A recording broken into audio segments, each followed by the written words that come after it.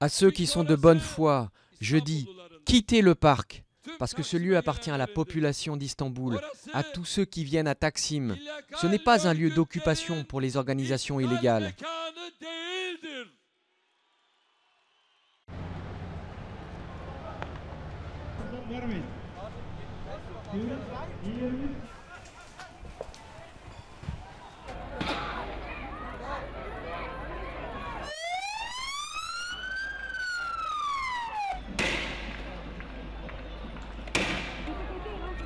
Maç teklif ettim kabul etmedi.